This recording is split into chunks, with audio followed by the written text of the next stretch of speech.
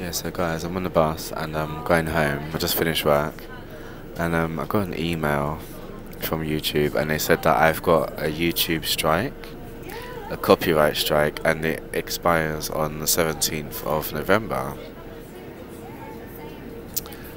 Now, I could have got a strike on many different videos because there's so many videos where I've used music, but the video they've given me a strike on is the Rihanna video when I was speaking in patois and talking about how Rihanna is enjoying some Arabic meat. You know, when it when it when it came out that um, she was in Spain, frolicking and canoodling in a in a, a swim in a swimming pool or the whatever it is hot tub in Spain. And the claimant is called Web Sheriff, and I don't know if it's like a, an official person or it's just some cunt person on YouTube. But um, the person called Web Sheriff, um, they put a strike. So I've used their content, and um, the video has been taken down. It has been taken down. I can't even see what part of the video belongs to someone else. It's just been taken down.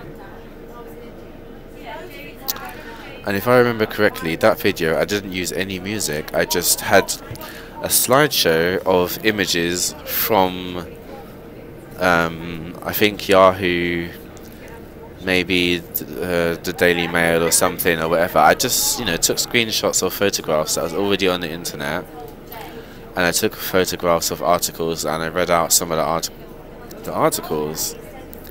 Now, I don't remember, if anyone remembers if I actually had music in that video, I don't think I had music in that video. I was just speaking in Jamaican accent, you know, in the patois. So, I don't know if it's the person who owns the image that uh, filed the strike. Because um, I used like two or three images from the internet, um, which a lot of other people have done. And I'm just like, who the fuck is this web sheriff cunt? Like, they've literally taken that video down. That video had like nearly 2,000 views. And it's a really entertaining video.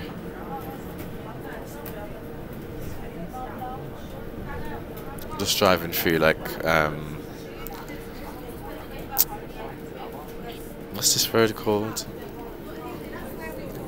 Or whatever it's called. Park Lane. Hyde Park. I'm just like why why the fuck was that video taken down? And the problem is I made that video on my phone and every time I make videos on my phone I just delete them afterwards because it takes up the memory you know, if I made it on my laptop, then I would have saved it to the hard, external hard drive and I could watch it again and see what I did wrong. But all I can think of is that the person who owned the images from the internet.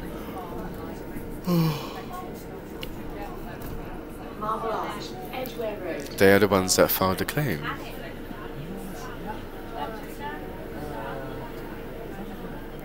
So yeah, I've got this fucking strike until like 19th of November.